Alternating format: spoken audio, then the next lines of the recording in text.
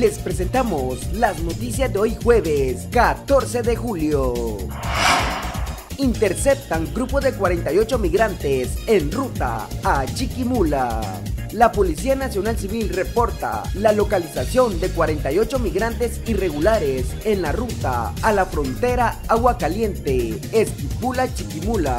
Según la información preliminar, se trata de personas originarias de Venezuela, Cuba, Guinea y Camerún, quienes fueron puestas a disposición de autoridades del Instituto Guatemalteco de Migración al menos 16 capturados durante operativos contra las extorsiones en distintos puntos del país. La Policía Nacional Civil y el Ministerio Público llevaron a cabo una serie de allanamientos en busca de presuntos pandilleros y extorsionistas. Las fuerzas de seguridad reportan al menos 16 personas aprendidas y dos reos notificados de nuevos delitos. Los allanamientos se llevaron a cabo en Villanueva, Misco, San José Pinula y Amatitlán.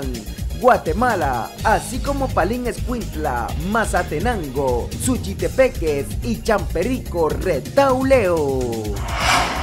Lluvia causa inundaciones en Gualán y deja unas 28 personas afectadas. La Coordinadora Nacional para la Reducción de Desastres informa que la lluvia de las últimas horas en Zacapa causó inundaciones en la notificación Los Limones, Gualán, que dejaron personas afectadas y daños en viviendas.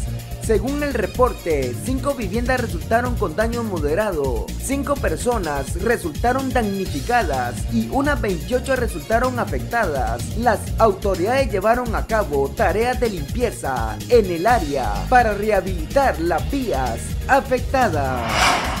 Supuesto profesor tenía orden de captura por seducción a menores de edad. Francisco Javier Cordón Martínez, de 38 años, fue capturado en la zona 1 en un allanamiento realizado por investigadores de la DEI y el Ministerio Público en cumplimiento a una orden de captura por el delito de seducción de niños, niñas y adolescentes por el uso de las tecnologías de información de fecha 8 de julio emitida por un juzgado de la capital.